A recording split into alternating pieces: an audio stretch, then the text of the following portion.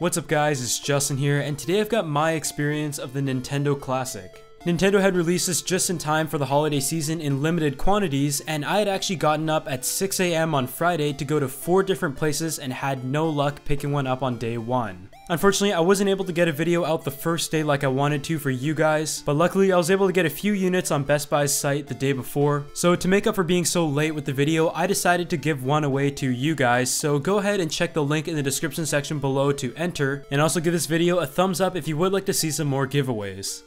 So Nintendo's intention with the Classic is to bring a throwback for those who remember the original Nintendo release in the 1980s. I was personally born in the late 90s, so this wasn't really part of my childhood at all, but I know a lot of people who remember playing this growing up. So please excuse the fact that I'm terrible at playing the games on this console later in this video. It comes pre-installed with 30 games that have been chosen by Nintendo that are considered the classics. The retail price for the NES Classic was $60 in the US and $80 in Canada, but like I mentioned, it was in limited quantities and the hype seemed to be pretty real, so you're going to have to pay some resale prices if you want to get one as soon as possible. The overall design is intended to replicate the original system, but it is significantly smaller, coming in at just about the same size as the cartridge that you would have found on the Nintendo in 1985. Of course, it does have a little bit of the 21st century integrated into it with an HDMI out port and also the DC in, which is a micro USB port, and all of the cables have been supplied. What's really crazy though is just how much they've been able to slim down the size and compared to the original Nintendo system, when you compare the size of the NES Classic to the PlayStation 4 Slim, it is pretty hysterical but you also have to consider in 20 years we're going to be looking at a console the size of the NES Classic with the same power of the PlayStation 4 Slim and we'll probably be laughing at the size of our consoles today and just what they were able to offer, but that really just goes to show how fast technology is advancing as a whole.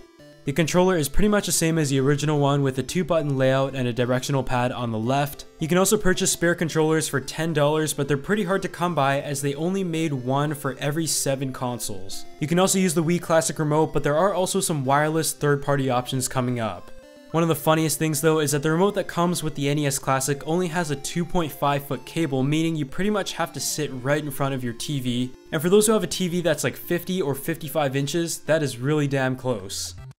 But I went ahead and booted up this console and the first thing I noticed is that it has a nice throwback feel to it. But being someone who was born in the late 90s and wasn't ever really into gaming aside from some sports games, I didn't recognize a lot of these games but there were a few that stuck out to me. Some of the games you're going to find are Super Mario Bros, Tecmo Bowl, Punch-Out, Pac-Man, Castlevania, Donkey Kong, and much more. Before we start gaming though, you're probably going to be using this NES Classic on an HD monitor or a TV. You're given the option to pick between the CRT mode, a 4 to 3 mode, and the Pixel Perfect, with the CRT giving you those fuzzy looks that are characteristics of TVs in the 80s. The Pixel Perfect mode is reminiscent of a square TV, and the 4 to 3 is probably going to be the one you're using most with an HD TV or display but I took it to Twitter to ask you guys what you would like to see me demonstrate in this gameplay. So without further ado, sit back and relax, check out this gameplay of some of the classics that you guys recommended to me, and watch someone play some of these games for their very first time, which will be really funny.